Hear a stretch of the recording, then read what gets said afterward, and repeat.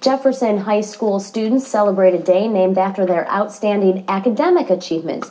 Rockford Mayor Morrissey proclaimed today J-Hawk Summit Victory Day. Students won first place at the fourth annual Global Economic of High School Students. 30 high schoolers researched a country's economic background, wrote an essay, and presented it to a panel of judges. The project is designed to help get kids to think critically and work together. I thought that it was a really great experience. It was a good learning experience for me. It got me to get a feel of what kind of stuff I would have to do in college, like for different classes and everything.